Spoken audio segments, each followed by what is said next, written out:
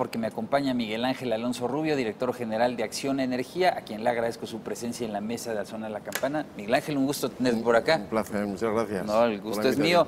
Acción Energía pertenece a Grupo Acciona, que a su vez es eh, un grupo español en soluciones eh, sustentables, sostenibles de infraestructura, también proyectos de energía renovables, ¿no? Sí, sí, sí, correcto. Somos tres divisiones, inmobiliaria, infraestructuras y energía. En México somos más conocidos por, el sector energético de las energías renovables porque hemos sido pioneros durante estos últimos 12 años en proyectos de energías renovables.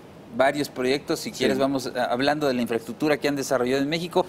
Eh, hay un proyecto eólico que le llaman el Cortijo. Sí, sí, el proyecto del Cortijo está en, en Reynosa, en Tamaulipas. Ha sido el primer proyecto de cualquier tecnología en entrar bajo la ley de la industria eléctrica. Yo creo que eso es un hito importante que nos pone como referencia del sector energético global, porque digo, no es solo de energías renovables, es a, nivel global de cualquier tecnología. ¿Energía generada con el viento ahí? Energía generada con el viento. Cortijo, sí, en Tamaulipas, sí. Sí, en Tamaulipas, sí. Ah, muy bien.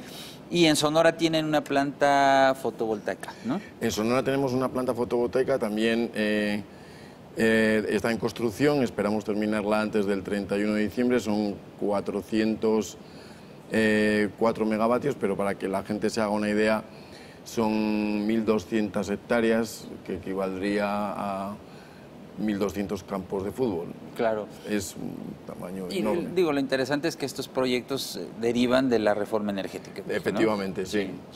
Que, abrió el mercado.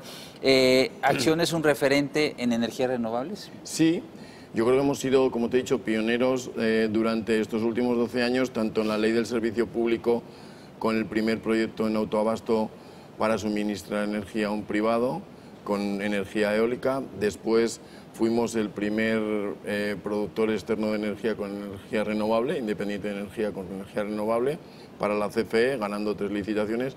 Y posteriormente lo que te, lo que te venía comentando, nuestros proyectos bajo la ley de la industria eléctrica y creo que en esta poco más de esta década siempre hemos sido el referente y el que ha marcado los hitos y que ha llegado en tiempo y forma y primeros ¿no? a, alcanzar los éxitos. ¿Cuánto ha invertido Acción en México? ¿Cuál es la proyección de inversión hacia los siguientes años? Nosotros ahora mismo llevaremos invertidos alrededor de unos 1.500 millones de dólares y nuestra idea es, eh, nuestra idea es eh, seguir invirtiendo, doblar eh, la capacidad instalada que tenemos. Nosotros queremos llegar en los próximos dos años y poquito, a, a 1 de enero del 2021, con el doble de capacidad, unos 2.000 megavatios, y para eso nos quedarían invertir alrededor de unos 700 millones de dólares adicionales a lo que ya llevamos.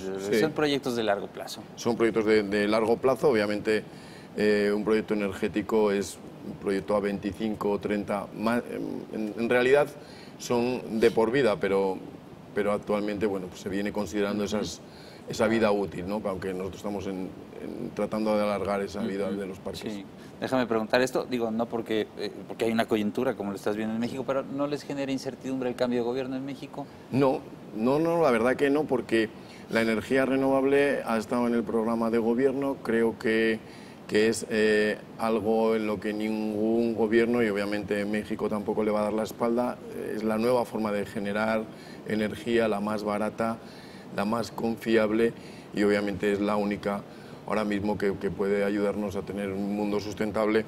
De hecho, esta mañana veníamos de una, de una presentación que ha hecho la jefa de Gobierno Ciudad de México de movilidad sustentable y, evidentemente eh, no se puede conseguir una Ciudad de México eh, con un cambio de, entorno más sustentable, saludable, si no hay una apuesta por, por, la energía limpia. ¿Será una tendencia en México en los próximos años? Sin duda, sin duda, sin duda, sin duda. O sea, no, no puede ser de otra manera. O sea, México creo que tiene que continuar.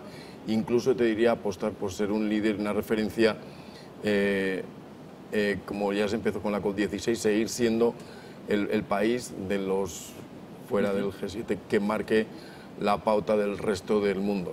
Ojalá que así sea. Y finalmente, eh, ustedes también tienen programas sociales en las comunidades donde operan. Hay un caso particular en Oaxaca. Sí, sí, nosotros, vamos, lo consideramos eh, dentro de nuestro ADN, allí donde vamos eh, apostamos por ayudar a las comunidades y que nos vean como parte de su nuevo modo de vida, porque obviamente los, los proyectos de energía renovable son muy grandes en tamaño y, y, de alguna manera cambian el entorno. ¿no? Y nosotros lo que queremos es que ese cambio de entorno sea siempre visto en positivo. Claro, que beneficie a la comunidad. Sí, nosotros en Oaxaca tenemos proyectos locales a nivel eh, de mm, comunidades que están alrededor de nuestros proyectos, pero también tenemos proyectos estatales de electrificación de todo Oaxaca. En la zona del eh, Istmo de Tehuantepec. En la zona del Istmo y en la, en la mm. sierra. Por ejemplo, el programa que tenemos de Luz en Casa Oaxaca, hemos eh, mm. dado electricidad a base de paneles solares a 12.000 familias y, y el, el, programa continúa. Son gente que de ninguna otra manera tendría acceso a, a la energía eléctrica. ¿no? Eh, aparte de luego te digo, proyectos locales de prevención de cáncer cervicuterino, eh, apuesta por, por, la mejora de, de, la, de la, ganadería en la, en, y proyectos productivos. Digo, fomentando industrias muy locales, eh, con compañías que nos dan servicio de mantenimiento, sí. eh, programas de beca para nutrir esas compañías de operación y mantenimiento con... Normalmente nosotros nos nutrimos de ingenieros, pero sí te digo que, que la apuesta uh -huh. por, sí. por, el desarrollo social es, es, grande. es grande y fundamental para nosotros, para que nos vean como, te digo, una solución a años de rezago social, que normalmente claro. es lo que hay en las zonas donde hay muchos recursos renovables. ¿no?